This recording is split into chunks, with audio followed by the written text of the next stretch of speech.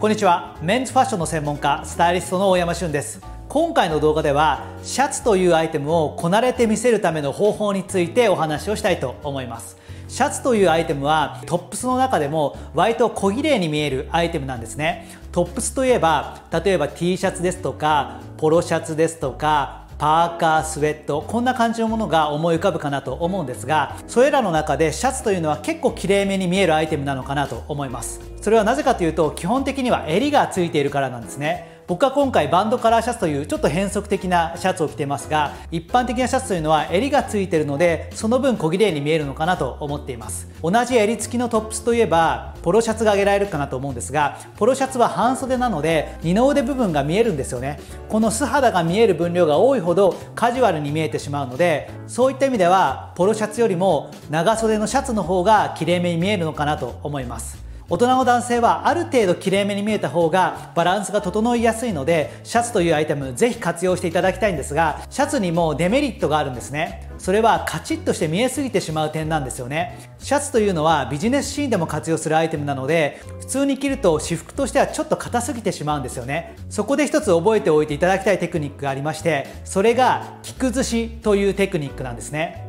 着崩しテクニックというのは本来ちょっと硬めのイメージのあるアイテムを少しリラックスして見えるように一手間を加えてあげるテクニックなんですね。例えばジャケットですとかシャツですとかスラックスこういったアイテムは割ときれいめなアイテムなのでそのまま着てしまうとちょっと硬すぎてしまうんですね。ですので例えばジャケットの場合はジャケットの内側にあえて T シャツを入れることでカジュアルな雰囲気を出すというテクニックがあります。ボトムスの場合には丈を少し短めに仕立ててくるぶしを出すことで少しカジュアルな雰囲気を出すという方法があります。そして僕が今着ているシャツにおいても着崩しのテクニックがあるので今回はそちらを具体的に解説をしてみたいと思います。シャツの着崩しテクニックというのは簡単です。腕をまくる。これだけでだいぶ見え方が変わりますので今日は腕のまくり方について詳しく解説をしてみたいと思います。今僕が着ているのはバンドカラーシャツと呼ばれるものなんですが一番オーソドックスな形で着ています。前ボタンは全部留めてますし腕のボタンも全てこちらも留めています、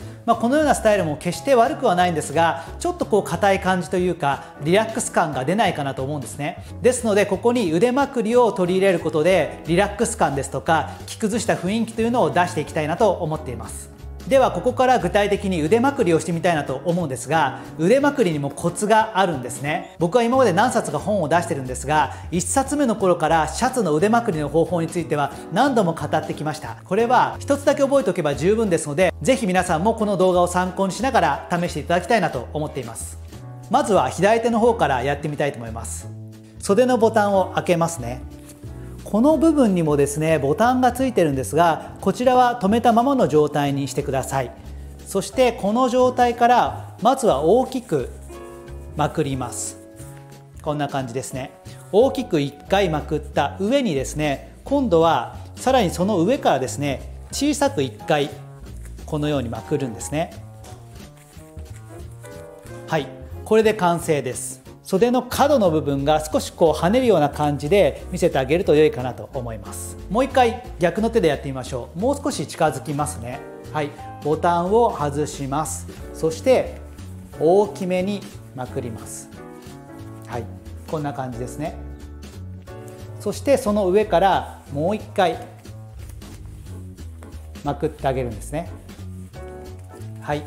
こんな感じで角が少し立つような形で腕まくりをしてあげると良いかなと思います。はい。これで完成ですね。このように袖を少しまくってあげることでリラックス感が出たのが分かっていただけるでしょうか。真面目に着てるよりも少しですねこなえた感じが出てくるかなと思います。肌が覗くことで一気にカジュアルな雰囲気が出てくるんですね。で肌の見せる分量なんですけどもこれは目安としては手首の位置と関節の位置がありますがその中間ぐらいが良いかなと思います。これぐらいの分量肌が見えているだけでだいぶこなえた雰囲気というかリラックスした雰囲気が漂うのかなと思います。これがまくりすぎてしまうとこれまた変なんですよね。これだとちょっと気合い入れてこれからなんか作業するぞみたいな感じに見えてしまうのでちょっとやりすぎです。ですので腕が少し覗くぐらいのバランスでまくってあげると良いかなと思います。そしてシャツにはもともと短めの袖の七分袖というものがあるんですがこれは結構賛否両論があって僕は個人的にあんまり得意ではありません。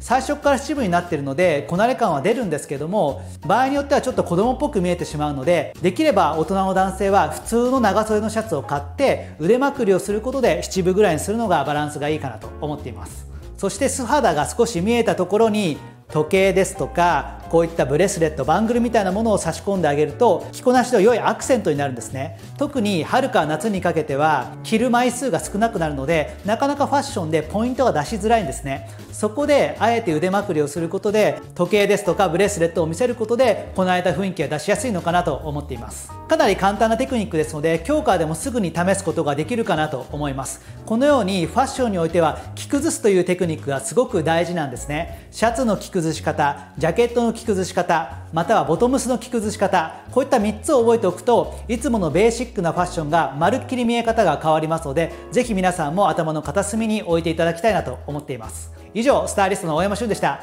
よかったらチャンネル登録の方もよろしくお願いします。